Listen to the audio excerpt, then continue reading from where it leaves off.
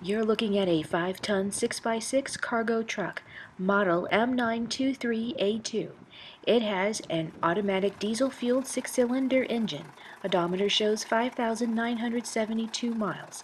It has a hardtop cab enclosure, includes key switch. It's buyer load.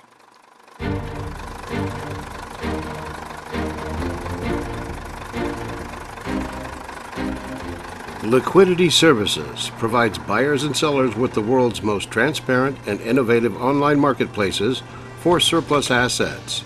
We add new inventory weekly with merchandise from government agencies, corporate clients, and commercial businesses.